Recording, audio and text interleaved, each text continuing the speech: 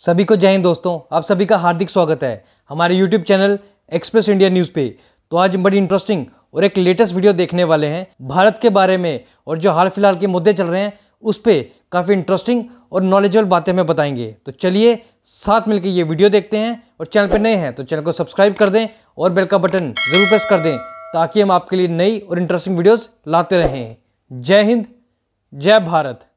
रहती हैं। अर्जू जी, आपने खुद देखा है कि पाकिस्तान में कितनी मुश्किल हैं बिकॉज़ ऑफ़ चाइना एंड ये सब, अगर हम ये सोचते हैं कि ईरानियंस ये सब देख नहीं रहे तो वो सब देख रहे हैं। They are looking at everything अब लोग तभी पैसा लेते हैं चाइना से जब उनको और कोई नहीं देता।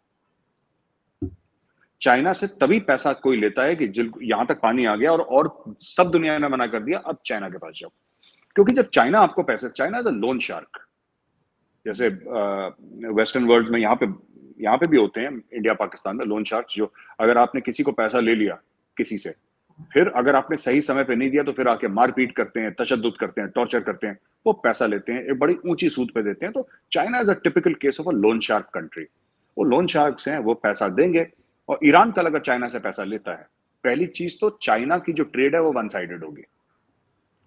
क्योंकि ईरान ऐसा कोई ज़्यादा मैन्युफैक्चर तो कर नहीं रहा, जो चाइना को चाहिए। राइट ईरान क्या मैन्युफैक्चर कर रहा है ईरान के पास तेल है और गैस है वो चाइना ले ही जाएगा सीपैक से खरीद के तो दैट्स ओके दैट्स ओके लेकिन fact of the matter is कि India will trade at a different level और आपको so इसमें ये नहीं हो सकता कि या तो चीन होगा क्योंकि किसी एक मुल्क पे कोई दूसरा मुल्क टोटली एक मुल्क पे डिपेंडेंट नहीं हो सकता है ना जो रिश्ते होते हैं डिप्लोमेटिक रिश्ते वो तो पूरी दुनिया के साथ होते हैं तो जब ईरान मेन स्ट्रीम होगा तब ईरान सबसे दोस्ती करेगा, अमेरिका से भी करेगा जब मेन स्ट्रीम होगा तो। सैक्शन हट जाएँगे तो यूरोप से भी करेगा, सबसे करेगा। और जब तक नहीं है, उसके तीन चार दोस्तों हैं, उसमें से एक इंडिया भी है। इंडिया ने तो तब ईरान से तेल लिया था जब ईरान के ऊपर सैक्शन थे। थोड़ा बहुत आज भी आई थिंक इंडिया ले रहा है आई एम नॉट मिस्टेकन तो we we will manage China वाइना का कुछ इतना ज़्यादा नहीं है मामला। नहीं, बिल्कुल ठीक। लेकिन साथ साथ अगर हम अफ़गानिस्तान की बात करें तो अभी रिसेंटली वहाँ के एक गुरुद्वारे में जो है, वो अटैक किया गया। और उसके बाद इंडिया ने कहा कि ई वीज़ा आप लोग जो है, वो दे रहे हैं। अफ़गानिस्तान में जो सिख कम्युनिटी है, और अगर कोई हिंदू कम्युनिटी वहाँ पे है तो वो आ सकते हैं। लेकिन बाद में कहा गया कि सबके लिए है, चाहे कोई भी आना चाहे। तो रिसेंटली पाकिस्तान के पास जो है, तकरीबन दो लाख जो है, अफ़गानिस्तान से लोग आए, और बड़ी मुश्किल होती है इस तरह से अगर कोई आ जाए तो आप लोग इस तरह ऑफ़र कर रहे हैं तो क्या इंडिया इस चीज़ के लिए तैयार है कि वहाँ से लाखों लोग जो है वो भारत में आ जाए अफ़गानिस्तान से? लाखों अफगानी ऑलरेडी इंडिया में हैं। हम्म। वो तो पाकिस्तान में भी है पाकिस्तान में हाँ, भी है नहीं पाकिस्तान के लिए नेचुरल है क्योंकि पाकिस्तान के साथ बॉर्डर है। इंडिया के हम्म। साथ बॉर्डर नहीं है आरज़ू जी। इंडिया के साथ बॉर्डर नहीं है लेकिन लाखों अफगानी आप देखिए पाकिस्तान जितने नहीं होंगे ज़ाहिर सी बात है। ऑफकोर्स उतने नहीं होंगे उसके आधे भी नहीं होंगे। लेकिन यहाँ पे लाखों हैं ऑलरेडी लाजपत नगर में आप चलिए तो आपको लगेगा कि अफ़गानिस्तान बना हुआ है वहाँ पे। साकेत में जो दो हॉस्पिटल्स हैं, वहाँ पे आप जाइए, अफगानी भरे रहते हैं, अपना इलाज करवाते रहते हैं। अच्छे, बड़े, अच्छे इंफ्रास्ट्रक्चर वाले हॉस्पिटल्स हैं। तो ये ये ये चीज़ है वहाँ पे। तो ये बात है कि देखिए, मुझे ये नहीं पता कि इंडिया ने बोला सभी यहाँ पे आ जाओ। I am not aware of this statement of India कि इंडिया ने बोला सभी आ जाओ। एक सीए है हमारा। मतलब कोई भी मतलब कोई भी जो है ना वो अप्लाई कर सकता है। पहले सिख कम्युनिटी को कहा था सिर्फ़ या हिंदू को कहा था अब कहा है कि कोई भी अप्लाई कर सकता है। ये ये मैं कहना चाहता हूँ नहीं नहीं आरज़ू जी ये तो इंडिया का शुरू से रहा है। कोई भी अप्लाई कर सकता है तो पहले भी था। अभी को चेंज नहीं करा इंडिया ने। देखिए बात ये थी कि 2014 के कट ऑफ़ के साथ और थोड़ा सा टाइमलाइन में रिलैक्सेशन के साथ जो नॉन मुस्लिम माइनॉरिटीज थी या नॉन मुस्लिम्स थे इन तीनों मुल्कों के अफ़गानिस्तान, पाकिस्तान और बांग्लादेश, उनके लिए था सीए जो आप कह रही है ना कि कोई भी अप्लाई कर सकता है। कोई तो आज भी, कोई मंगोलिया से अप्लाई करते हैं इंडियन सिटीजनशिप के लिए इंडिया रोकेगा थोड़ा ना उसको। उसको सिटीजनशिप मिलती या नहीं मिलती, वो अलग बात है। You are welcome to apply any is welcome to apply to India आप जो इंडियन सिटीजनशिप के लिए खुला है, जिसको भी अप्लाई करना है, वो इंडिया दे ना दे, वो बात की बात है। लेकिन अप्लाई ऐसा कुछ नहीं है। मुझे मुझे इसके बारे में इल्म नहीं है, जो आपने सवाल पूछा है, क्योंकि मुझे, मैंने ऐसा कोई पॉलिसी पेपर नहीं पढ़ा, ऐसा कोई स्टेटमेंट नहीं पढ़ा एम ई से मिनिस्ट्री ऑफ़ एक्सटर्नल वो जयशंकर साहब बोलेंगे या उनका, उनकी तरफ़ से कोई बोलेगा, तब जाके हमें पता लगेगा। मुझे तो इसका आइडिया नहीं है। लेकिन जहाँ तक ये बात है, देखिए, आपने बात करी ना कि सिखों पे जो अटैक वहाँ पे हुआ है, आज तालिबान परेशान है कि अटैक क्यों हुआ? पर तालिबान यही काम तो पहले खुद करता था ना। तालिबान तो खुद यही काम करता था। तो उनकी ये क्यों मार रहे हैं सिखों को और गैर मुसलमानों को? और ये मुसलमानों को भी मार रहे हैं, ऐसी बात नहीं कि मुसलमानों को नहीं मार रहे, उनसे बड़ी मोहब्बत कर रहे हैं, ऐसा नहीं है। ये क्यों मार रहे हैं? क्योंकि वो, इनकी जो आइडियोलॉजी है इस्लामिक स्टेट की या दाइश जिसको कहते हैं, या फिर अलकायदा की या इनकी आइडियोलॉजी यही आरज़ू जी कि ये ये इंसान तो है ही नहीं, जो गैर मुसलमान है, ये तो इंसान है ही नहीं। और ये जिए जिए हमारे ज़्यादा कोई फ़र्क पड़ता नहीं है। So they will keep on doing it मुझे ऐसा लगता है कि the Indian government should get जितने भी हिंदू और सिख हैं वहाँ पे अफ़गानिस्तान में, उनको यहाँ से तालिबान से बात करें। अब तालिबान से बातचीत इनकी शुरू हो गई है। इनको लाए और इंडिया में सेटल करा जाए इनको अच्छी तरीके से यहाँ पे, बसाया जाए यहाँ पे बिकॉज़ वो मर, उनको मार देंगे वहाँ पे। वो बचेंगे नहीं अर्जु ji. They will be killed बिल्कुल ठीक लेकिन खैर क्योंकि मैंने ये सुना था और पढ़ा था कि क्योंकि इंडिया ने ऐसा कहा तो मैंने कहा, अगर इतने सारे अफ़गानिस्तान से वहाँ चले गए तो किस तरह से मैनेज करेंगे?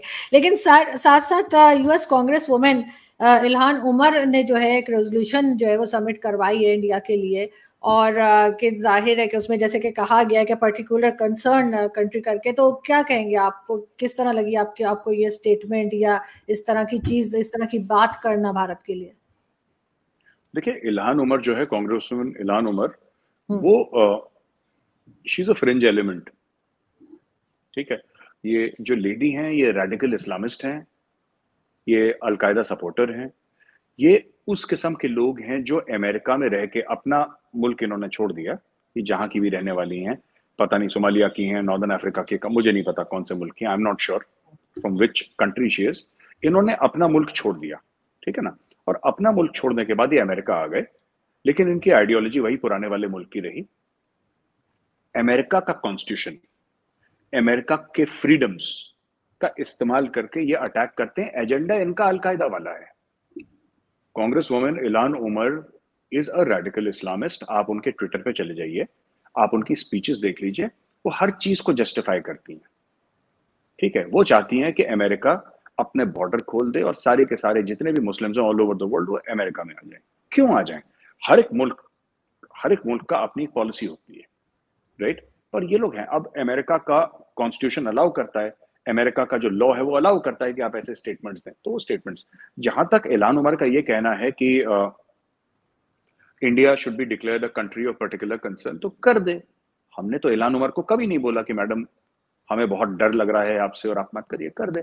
हम तो कह रहे हैं कि ऐलान उमर क्यों? ऐलान उमर तो बहुत छोटी सी चीज़ है। She is a Congress woman from somewhere हम कहते जो बाइडेन डिक्लेयर कर दे, फिर क्या होगा?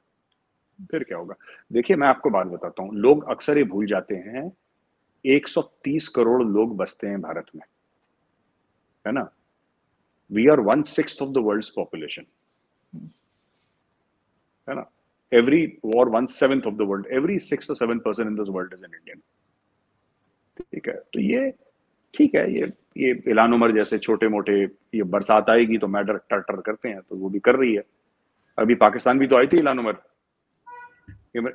इमरान खान से मिली थी और वो पीओ के पीओ के गई थी, जिसको आप लोग आज़ाद कश्मीर बोलते हैं, वो वहाँ पे भी गई थी और पूरा उसको घुमाया, फिराया। मुझे लगा कि पैसे वैसे वेस्ट कर दिए फालतू में। ये फालतू। देखिए, उसका करना गजरना है नहीं कुछ उसका। बस ये थोड़ा सा लगता है पाकिस्तान को गया थोड़ा सा मीडिया में आ जाएगा और कुछ आ जाएगा। इलान उमर को कौन पूछ रहा है उसको?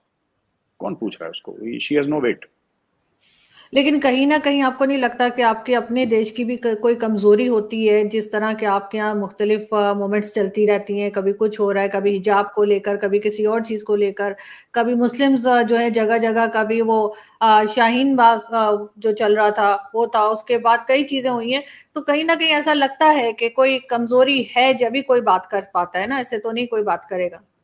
मैं बिल्कुल कमज़ोरी है, आप बिल्कुल ठीक कह रही हैं, कमज़ोरी ये है कि हम लोग बहुत अच्छा बनने की कोशिश करते हैं। ये इंडियंस में कैरेक्टर फ्लॉ है ये।